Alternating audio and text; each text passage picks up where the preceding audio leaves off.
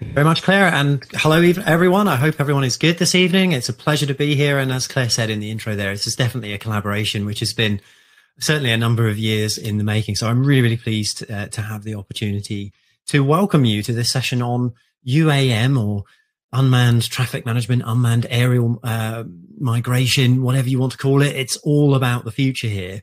Now we are on the cusp of the uh, the most significant development in aviation since the advent of the airplane. And as we move towards a future where drones are increasingly sharing the skies with manned aircraft, many questions and challenges arise. But as all of that drone use continues to increase, what actually needs to change to truly unlock their potential? And we'll be focusing on that question tonight. Now, in this presentation, we're certainly going to be discussing something that's very close to my heart called unified traffic management. And the idea behind unified traffic management is the bringing together of all different types of aerial craft into a single unified system that enables very succinct, very safe, very efficient navigation. And we're going to talk about the crucial supporting and enabling role that it's going to be playing in helping to unlock the potential of drones to deliver a wide variety of new services. Everything from transportation and delivery to industrial infrastructure, maintenance, you name it. It's effectively the future of urban aerial mobility. So, as Claire said, you know, my, my name is Richard Parker, and I'm the Chief Executive Officer of Altitude Angel. I founded the company about five and a half years ago. Now, firstly, before we begin, I want to say certainly thank you very much for registering for this webinar hosted by the Royal Institute of Navigation. I'm very much delighted to be here presenting to you and explaining how Altitude Angel is laying the foundations for the future of not only air travel, but a wide variety of services delivered through unmanned aerial vehicles. Now, over the next few slides, I'll be outlining the services that we provide as a UTM company, and then also defining what that means. But first, just a, a little bit about our company. So firstly, let's, let's talk about our mission. Now, our mission is absolutely to unlock and unify the airspace. And the reason we want to do that is we want to enable more people and more organizations to access the potential of, of, of drones or unmanned aerial systems. We're committed to unlocking that airspace to enable those beneficial impacts to be felt by pretty much any industry, whether it's commercial or it's societal, industrial. We can all use the sky in creative ways. We just need the tools to be able to manage that. Now, certainly many drone operators today will have used or, or touched Altitude's Angel's products and services directly and potentially even indirectly. So whether you're using our world leading service, dronesafetymap.com, which is a free resource providing important local safety maps um, in over 40 countries, or, or indirectly, for example, um, in Norway, the UK, or in India or North America, many European member states where we have deployed or we're talking um, about deploying and operating our systems nationally to help deliver on that mission to actually unify the airspace and unlock those fantastic use cases for drones we're all thinking about. Now, of course, a core focus for us, like any aviation company, is safety. And we use technology to ensure that drone pilots, aircraft pilots, airspace managers, regulators, and even software developers and drone manufacturers can all innovate safely together and crucially can connect to each other so that our societies and our economies can actually benefit from this drone technology. So, of course, when we think about drones for surveys, we have different safety concerns and different challenges associated with thinking about transporting human cargo going from A to B, as in um, is, is the common use case for urban aerial mobility. Now, the sky above our heads is certainly a, an amazing resource, and we just have to figure out collectively how we can truly utilize that to its to its maximum benefit to unlock its potential, and and that is what we do at Altitude Angel. So, before we go on and before we take a look into the future, let's just outline where we are currently, because I'm aware in the audience we'll have people that are very well versed with drone technology. We may have people who are not yet um, uh, proficient or familiar with it. So let's just take a few moments to to level the playing field a little bit. Now, I'd wager that as a member or follower of the Royal Institute of Navigation, you're fairly interested in some way, clearly about the art of navigation, but certainly about the use or advancement of navigation technologies and how they may be applicable in this new and emerging field of transport. Now, maybe you fly drones or you're in the business of aviation, manned or unmanned. Perhaps you're more interested in what's going to be happening on the ground. And now you're just kind of curious, what is all this fuss about? Now, however you're involved, we can probably arrive, however, at some very common observations about the airspace above our heads today. Now, the sky is a largely quiet place. Now, let's just take a moment to think about that. And certainly in the pre-pandemic world, um, you know, globally, the sum total of all commercial airline flights that took place every year was only about 40 million, 40 million. So that, that gives you an idea when you look up in the sky, even if you live in and around a busy airport, the sky is, is, is reasonably empty, taken by volume. And to give you an idea, if, if each flight, uh, each one of those 40 million flights was undertaken by, by, by one plane, so in other words, there were 40 million planes, we could park two planes in every square mile on the planet and still have a lot more room. So you know there there is definitely a lot of resource that we're not uh, we're not tapping into today. There's another key point that's a challenge and a blocker really for thinking about why drones aren't all around the place today. And the first is that aerial restrictions aren't standardized around the world, or sometimes even inside the country to which they relate to. And this is very, very um, common, particularly as they relate specifically to drone operations.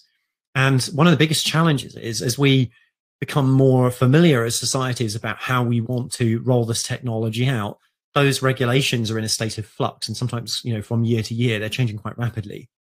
So that might be fine if we're talking about humans making all of the decisions. But as we move forwards in time, we're talking about less human interaction from a piloting perspective and more automated navigation. So not having um, a standardized view that could be digitized is a, is a slight problem. And because of that, it's not always clear where operators of drones can or cannot legally fly.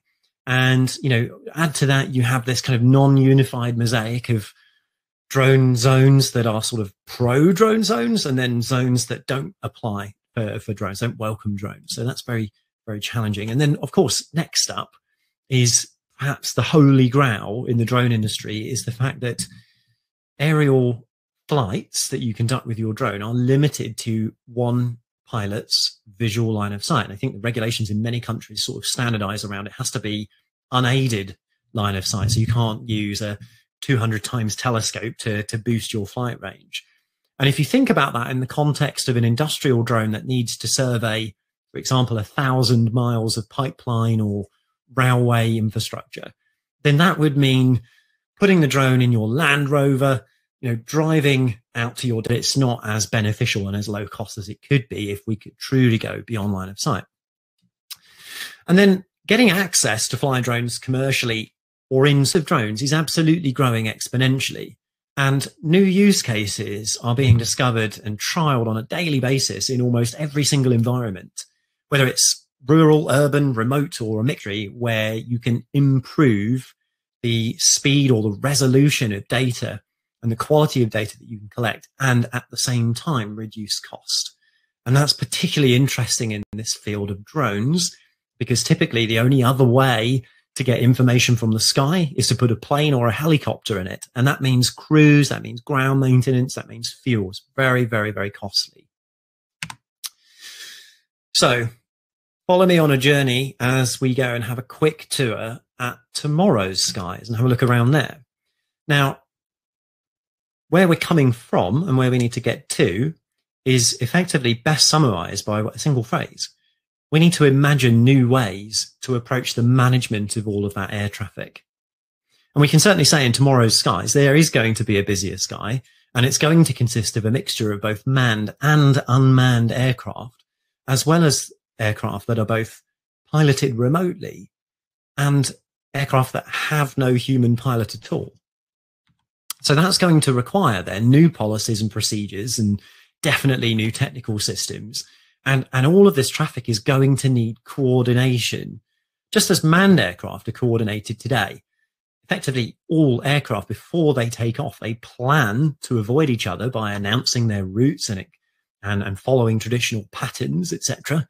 But there are always unforeseen circumstances. So we need clever ways to be able to react to those in a safe and predictable manner.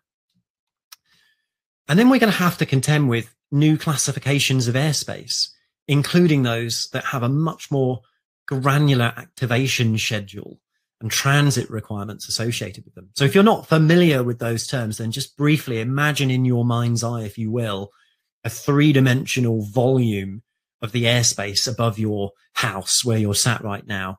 And that might start, let's say, 200 feet above the ground and extend up a thousand feet. And it might be a you know, a circle uh, a, or cylinder rather, a mile in radius. That volume is not necessarily a static volume. That volume might be permeable to you if you have a certain um, type of aircraft or you have a, a particular type of mission. Or in some instances, it might simply not be relevant. It might be switched off, if you like, depending on the time of the day. And we see this today in traditional aviation. You have things like glider sites that might only be active on the weekend. So during the weekend, um, most need to be extra careful when they fly there or even maybe not fly there at all. And then during the week when the, the, the gliding school is not active, that section of airspace is, is free and open to everyone to travel through.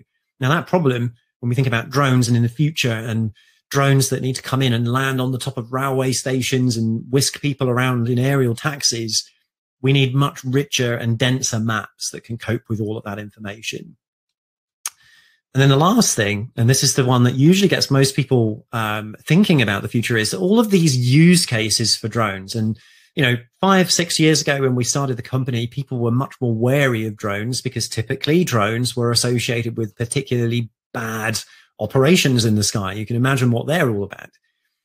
But fast forward to today, and almost every industry has figured out how it could benefit from drones. And even in the UK, we're we're using drones now to test the delivery of COVID nineteen vaccines. And it's it's not all, uh, if you excuse the pun, pie in the sky.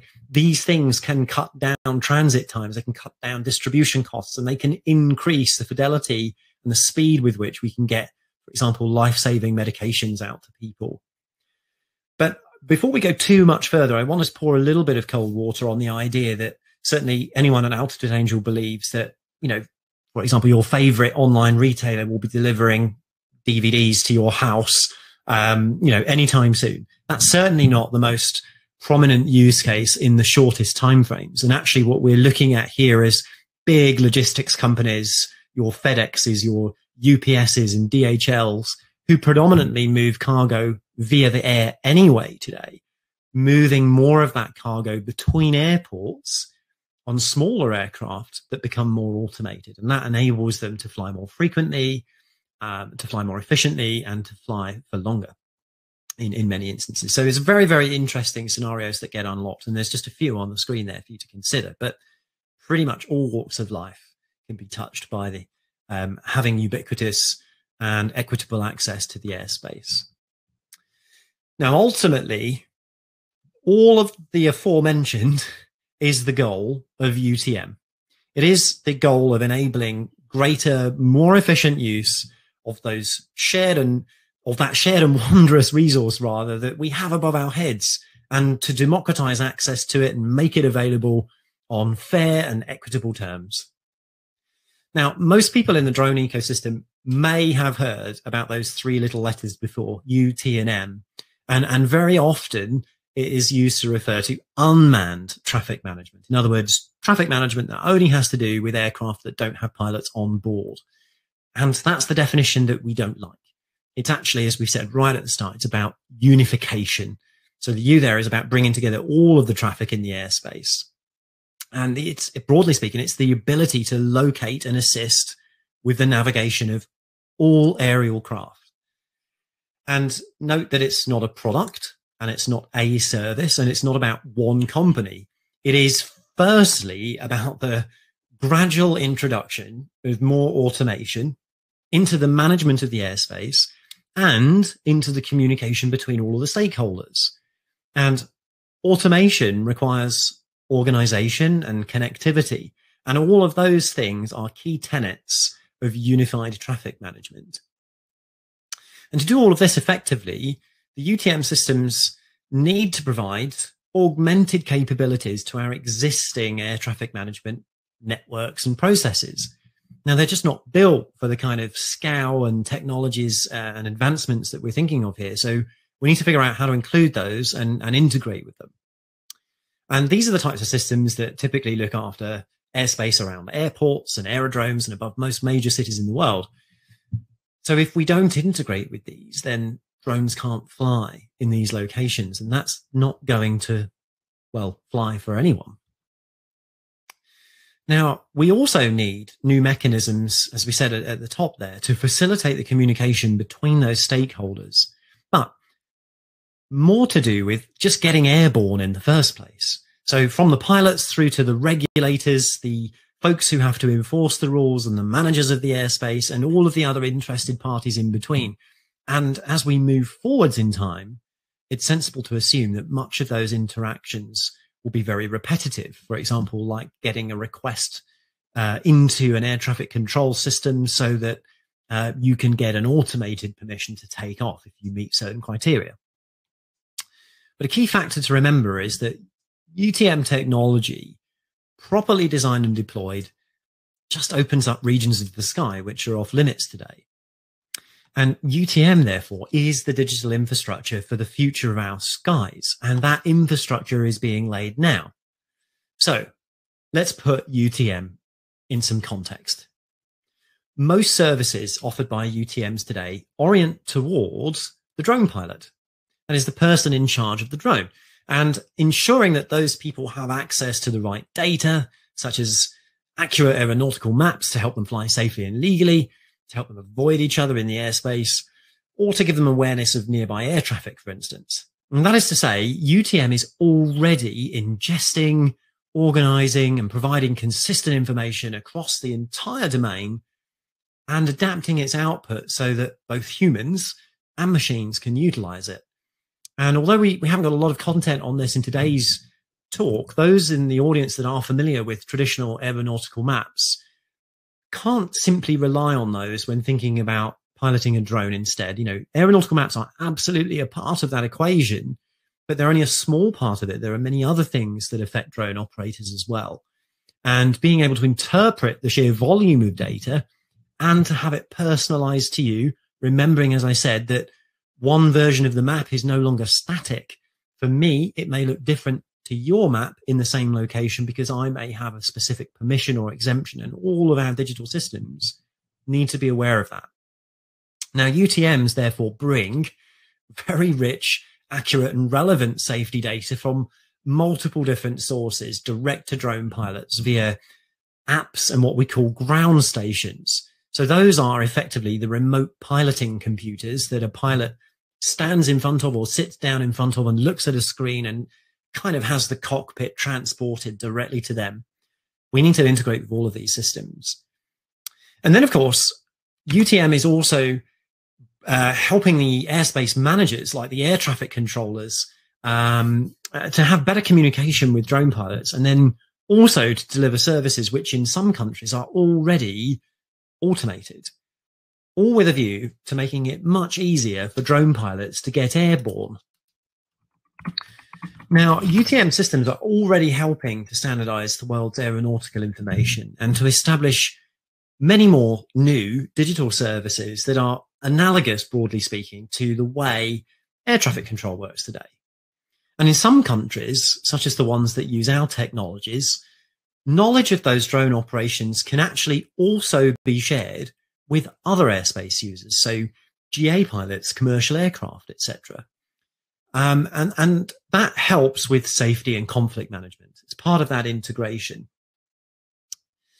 Now, the more advanced still then go on to rely on our technologies to provide automated management of transit and access requests, not just to the drone pilots via trendy web apps and interfaces, but directly to the ground control systems or even on board systems directly on, on the drones so that the most complex and the risky drone operations can be carried out using real time tracking, just like large commercial aircraft. But even these can only really be considered the basics. For UAM scenarios and advanced automated piloting scenarios, we certainly need a lot more. Now, as we look to tomorrow, then, or really as we call it, the transition period, and for those watching in November, I'm not talking about the Brexit transition period. Um, UTM or unifying the airspace is much more about integration and connecting drone pilots, urban aerial mobility aircraft, the stakeholders that manage the airspace and other users together on a common yet open platform, a digital operating system for our skies, if you will. Now, the job of organizing our skies then and being that operating system and managing that information flow and describing it and securing it is a very tough job, but it is a very, very, very critical job. And UTMs will not only disseminate information, but they'll collate it and they'll generate new information and offer digital services to help travel in the modern airspace take place safely and effectively and efficiently at scale.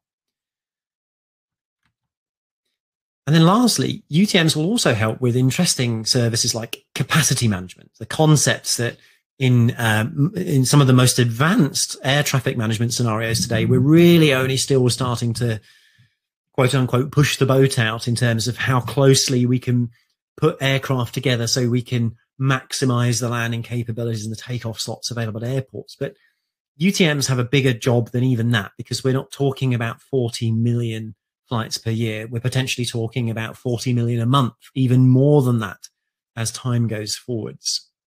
So the job of managing all that capacity routes through that, uh, through those regions of airspace, as well as airspace protection and conflict resolution and the ability effectively to help drones being piloted by different service providers to avoid each other, as well as other, other airspace users safely and securely, securely that is the role of UTM.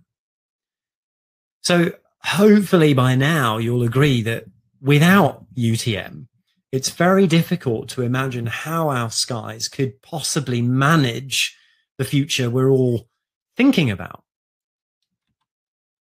Now, I like to use this slide just to dispel a few misconceptions because it's um, anyone that's spent any time kind of looking into this field, or even people who are scratching their heads, wondering and, and thinking intellectually about the problem, more often than not, come up with you know a cluster around a series of common questions, frequently asked questions, and those are often presented as reasons why UTM can't happen. And I want to try and dispel some of those myths for you here today.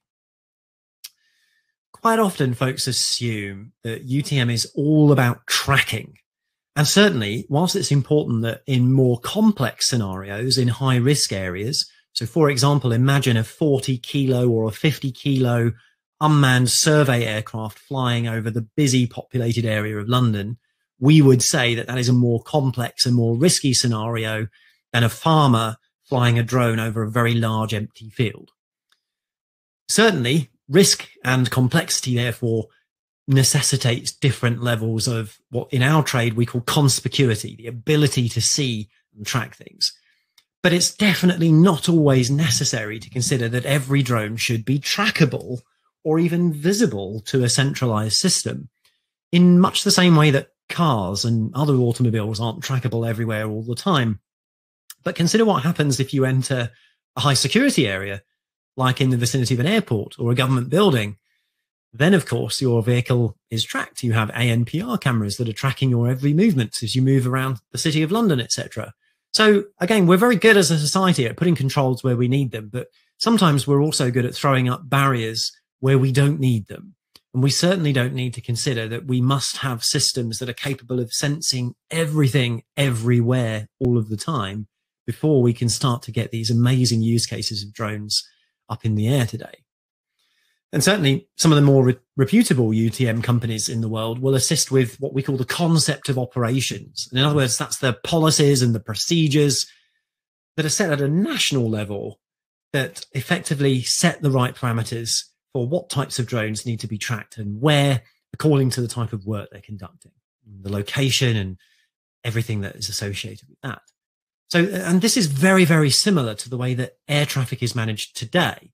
And while it's true that certainly many aviation authorities are investigating a future where flying vehicles are equipped with transponding equipment, not everything needs to be visible at all times. And even in that future, there are scenarios where those flying things still won't be visible, even if they have all the necessary equipment.